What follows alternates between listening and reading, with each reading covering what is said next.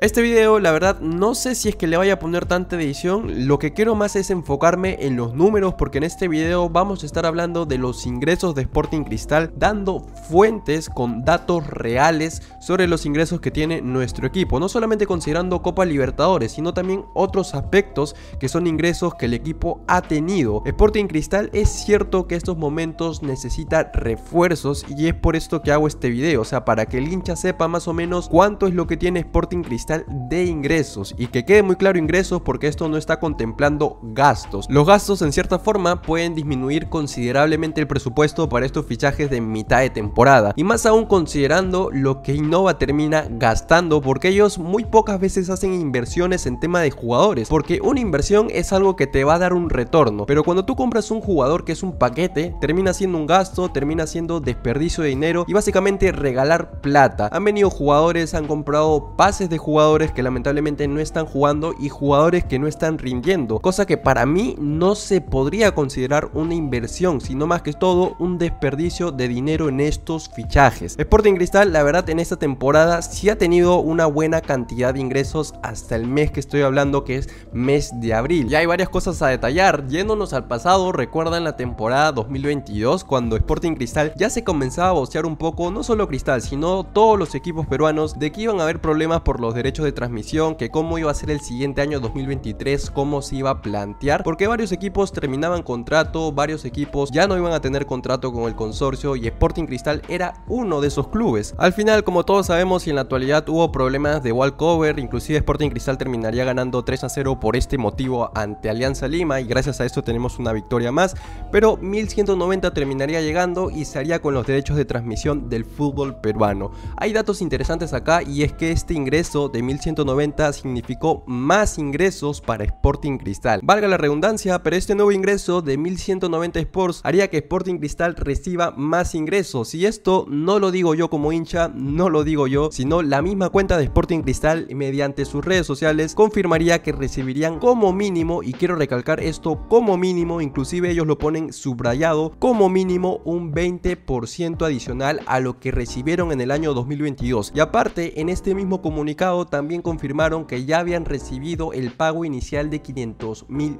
dólares. O sea, Sporting Cristal a inicio de año ya tenía un presupuesto asignado y sobre eso Joel Rafo y todos los dirigentes que vienen detrás de él podrían haber asignado un presupuesto para cada área. Hago un énfasis en la palabra mínimo y de hecho ellos mismos también hacen un énfasis en la palabra mínimo del 20% adicional porque Sporting Cristal podría recibir un 30% adicional, 40% o 50%. Esto va a depender, o sea, esos son datos que sí no sabemos, pero como mínimo, o sea, si nos ponemos en el papel del mínimo, Sporting Cristal estaría recibiendo un 20% adicional. Ahora, la gran pregunta es cuánto estaba recibiendo Sporting Cristal por derechos de transmisión en 2022. Y yo he consultado algunas fuentes, pero no he podido llegar a un consenso exacto porque todas daban datos distintos. Algunos decían 3 millones, otros 5 millones, inclusive hasta 8 millones que supuestamente Sporting Cristal estaba recibiendo por ingresos de televisión. El tema es que nos ponemos en el papel de lo mínimo para no exagerar la data, para no decir ni dar datos irreales. Entonces si nos ponemos en el papel de que Sporting Cristal estaría recibiendo 3 millones, el aumento del 20% haría que en este 2023, si supuestamente son 3 millones, estaríamos recibiendo 3 millones 600 mil. Ya hasta ahí, Sporting Cristal tendría una buena suma de ingresos para afrontar lo que es tema logísticos, tema de fichajes, todo lo que conlleva Sporting Cristal. Ahora también hay un tema muy importante y es el caso de los sponsors. Esto es muy importante para cualquier club de fútbol y no solo en Perú, sino a nivel mundial, porque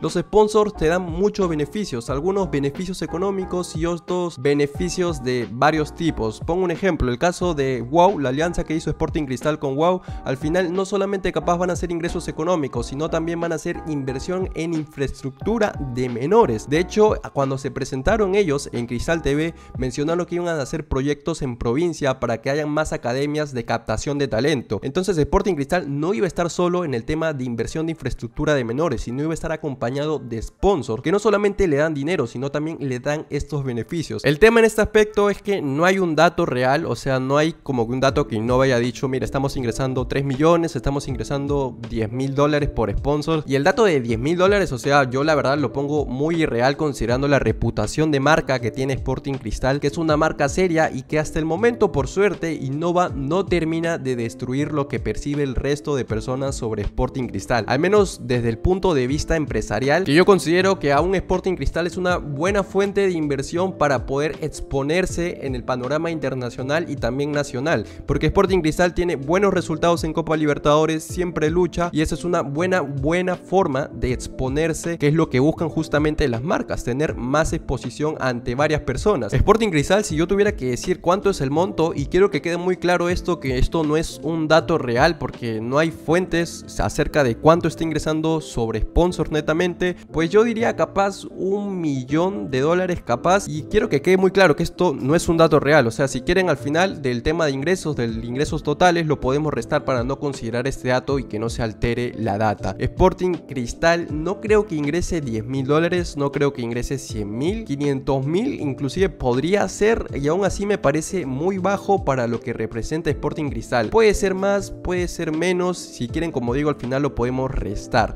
Pero en tema de sponsors, si yo pronosticaría, pronosticaría que Sporting Cristal como mínimo capaz esté recibiendo un millón de dólares. Esos son los ingresos que en principio el equipo tuvo a inicio de temporada. Y es que posteriormente jugaremos partidos y lo cual los partidos que jugamos de local incluye taquilla, pero esto yo no lo voy a tomar en cuenta porque la verdad es muy confuso en el tema de cuánto podríamos haber recaudado en este aspecto y Sporting Cristal no todos los partidos ha llenado, así que hay algunos partidos donde en el Nacional tenemos taquilla completa, pero hay otros partidos donde Sporting Cristal no tiene la taquilla completa porque no todos los hinchas fueron a apoyar.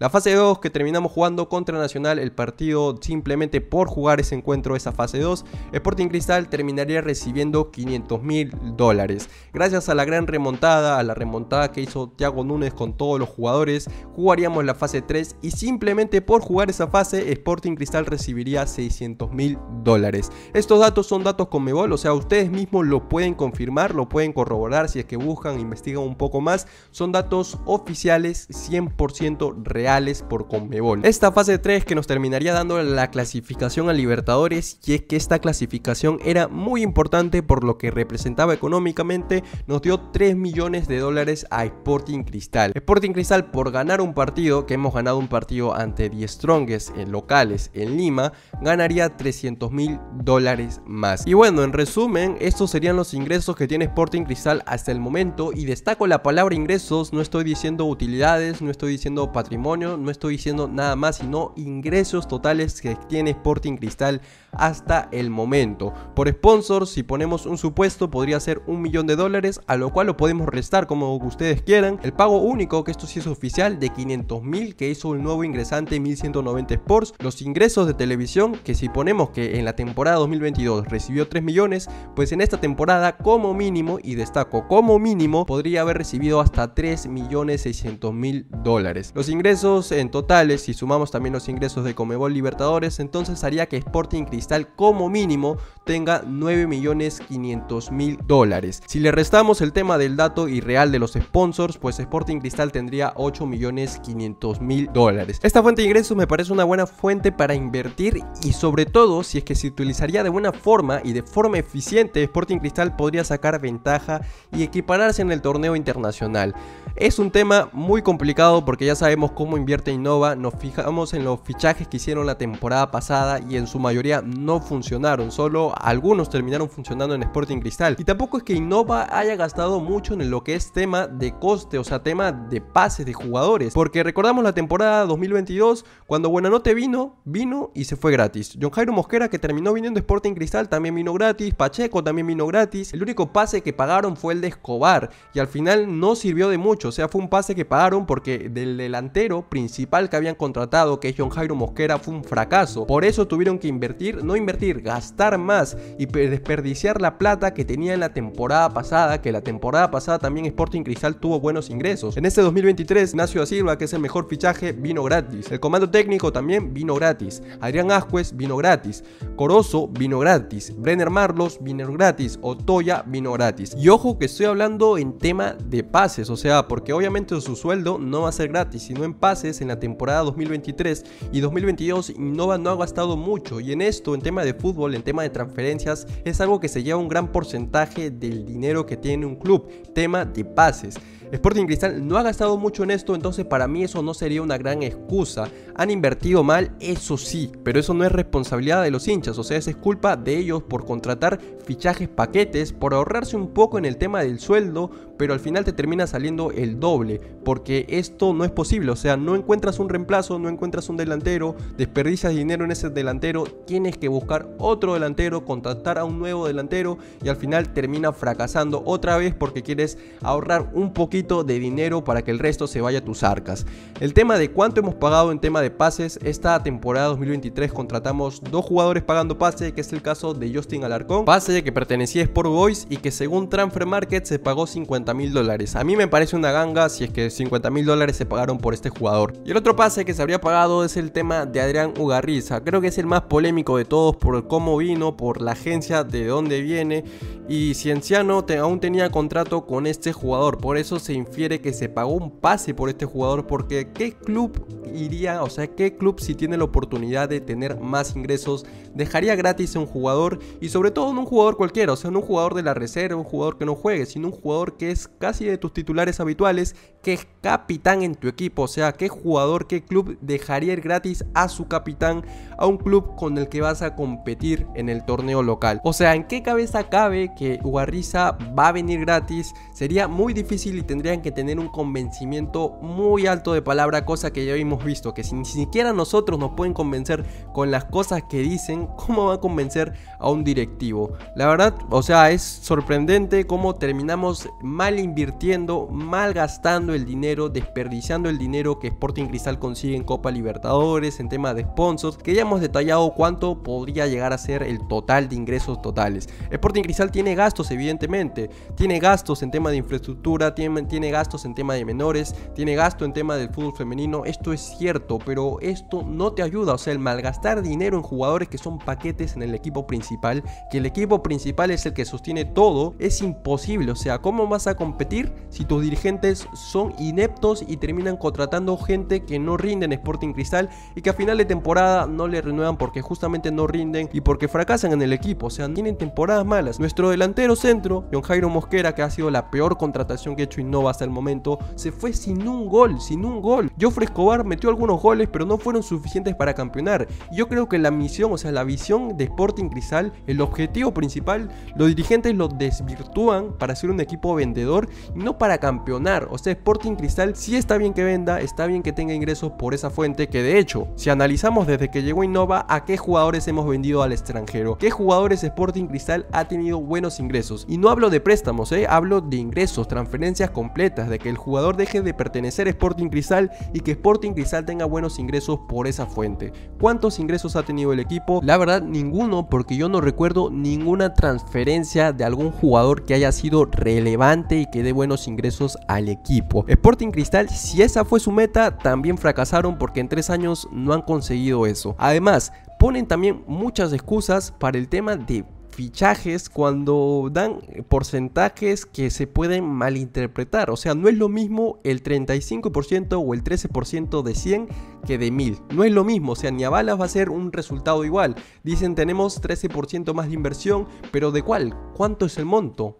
sería mejor hablar de montos, porque como repito, no es lo mismo. Ahora, Innova lo va a hacer, lo dudo. Dudo mucho que comience a hablar, esto es lo que está generando Sporting Cristal, porque el hincha podría tener un panorama más específico de saber cuánto se está invirtiendo y cuánto se están llevando ellos. Y yo creo que a ellos esto no les va a gustar, o sea, no les gustaría dar detalles de cuánto se están llevando. En fin, yo la verdad dudo mucho que este grupo se sincere con el hincha y diga cuáles son los montos oficiales. Es más, ni siquiera, o sea, si Comebol no publicara lo de Copa Libertadores, yo apuesto que el grupo diría, estamos a la justa, estamos convirtiendo, estamos el 90% del presupuesto ya a estas alturas del año, capaz algo así para excusar que no, no hagan fichajes o que sus fichajes sean malos. Sporting Cristal tendría en principio 9 millones porque dudo mucho que se hayan gastado todo el presupuesto, a no ser, o sea, ya sabemos que no hace siempre mal las cosas, pero no creo, o sea, no creo que sean tan, no creo que sea tanta la ineptitud para malgastar tanto el presupuesto. Sporting Cristal, ojalá, ojalá veamos nuevos fichajes, ojalá sean fichajes de buena calidad y que no terminen contratando fichajes que sean paquetes, que al final les terminen rescindiendo y Sporting Cristal pierde doble dinero. Nos vemos hasta el próximo video. Hasta la próxima.